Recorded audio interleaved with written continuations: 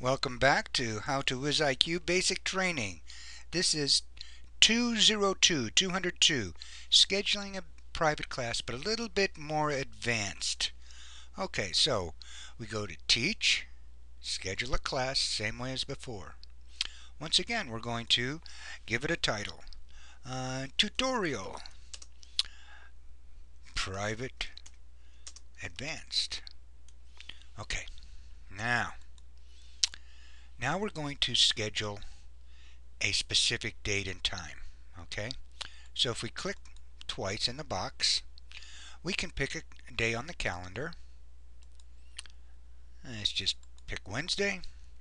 We set the time. Let's say 6.30 a.m. Alright, so that's a little bit more advanced, but now um, if you have a free account, you probably don't have this ability, but you will later if you want, if you get into that. But now we can select when the class repeats.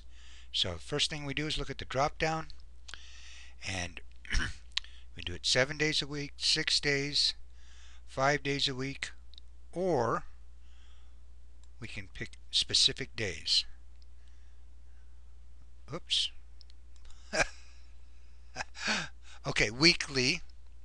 So every week I want this schedule to repeat.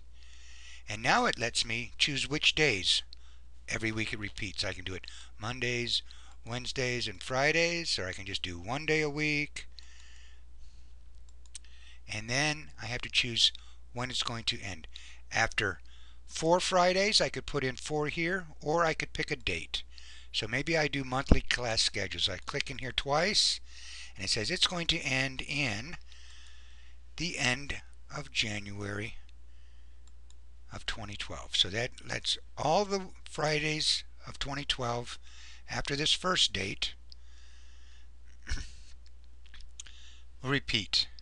Once again, we can put in keywords, we can put in um, class description, and um, here I'm not going to do it now, maybe later, you can actually put in HTML code. You can, it would put in pictures and things like that, um, and fancy font types. It looks simple, but you can actually get pretty fancy there. My experience is that most people do not read the class description, so don't do a lot of work here. But um, anyway, I think that's about it for what we want to look at. So let's go ahead and schedule it.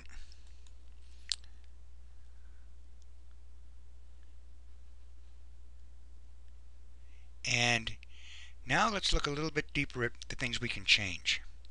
Uh, we already looked at invite attendees, that would be the same. But let's look at attendance and permissions.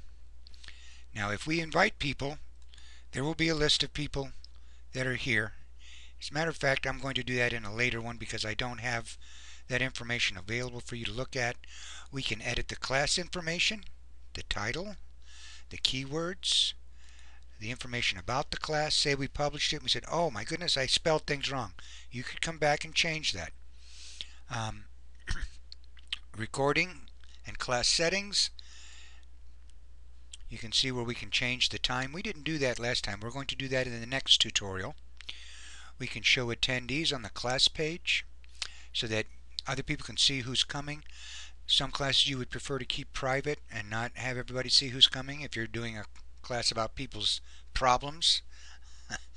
um, you can set it up, change all of these settings in the um, in the on the class page after you got it set up. Here's where you can look at any comments that people have made. You can also, after the class, you can look at the feedback they left. And as we said before, we can change the class time, and this will automatically send a message to everyone who has been invited. And finally, we can cancel the class, and you would want to give a message as to why you needed to cancel it.